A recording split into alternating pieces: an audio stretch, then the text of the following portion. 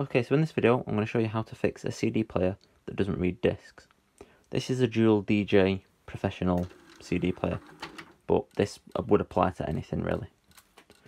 So this side, as you can see, reads the disc straight away. Or more or less straight away. This side's just going read, it's doing a click sound.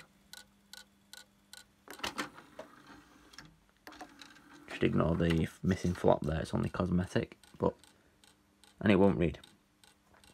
Now I'm going to show you how to adjust the laser uh, to make it read discs again.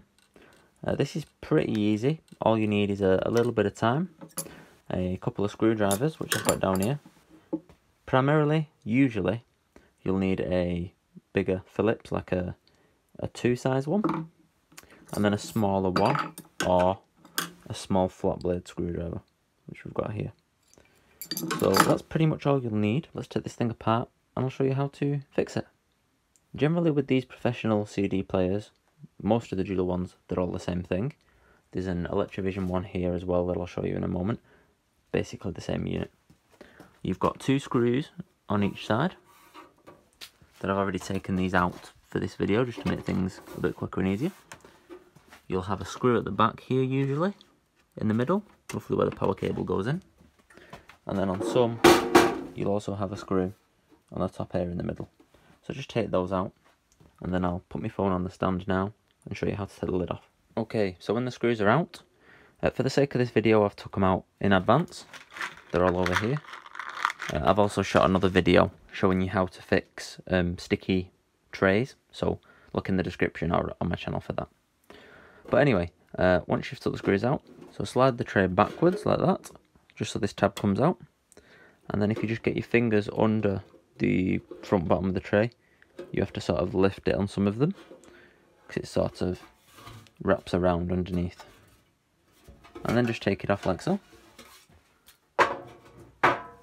That exposes all the inner workings. Obviously uh, if you're taking the lid off make sure that you turn the unit off when you're playing around with it. Uh, we're going to need it on in a moment though to adjust the laser whilst we're doing it to make it easier. But this is the insides of this KAM unit. This here is an Electrovision unit, which is pretty much exactly the same. There's a few minor differences, but pretty much all of these CD players follow the same design. So what you're going to want to do for this, turn the unit on, eject the disc from whichever side that you're having issues, as you can see at the moment. I'm going to put the screen up so you can see it. Okay, so this is proving quite difficult to show you the screen and the uh, actual laser at the same time. Um, I'm going to sort of balance it there and I'll just show you in a minute. So generally, what you want to do is eject the tray and then this little crosshead here, you want to get your screwdriver into. Whatever the laser is currently set to is just turn it slightly you can turn it either way, just see if it gets better or worse. That seemed to get worse. I'm going to try it a little bit more the other way.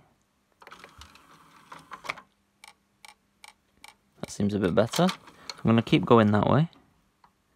A little bit. Turn it a touch more.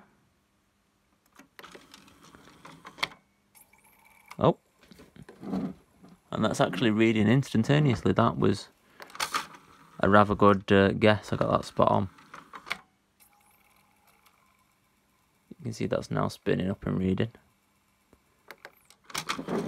And if I actually turn it back, I'm going to put it, I'm going to undo what I just did. I'm going to turn it back clockwise a bit more. And you can see it's gone back to not reading. If I turn it back, that is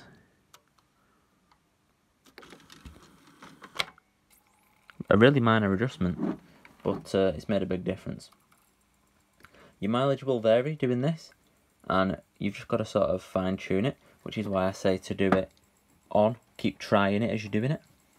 But then once you've got it and you're happy with it playing, as you can see, oh, if I play that now, it'll play that track. We can go up 10 tracks. It'll play that one. Go back to one. And it's loading rather quickly.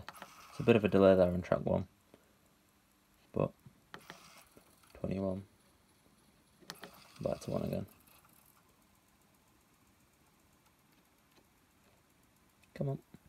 There we go. That seems to be tracking and playing really quite nicely.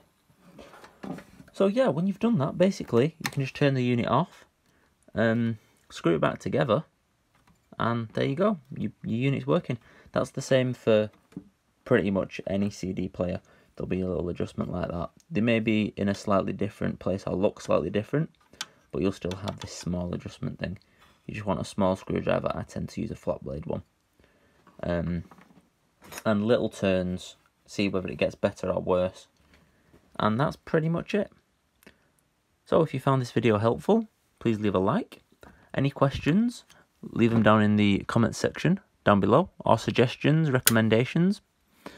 Uh, and if you're interested in future random technical videos like this one, then get subscribed to my channel down below. Thanks for watching.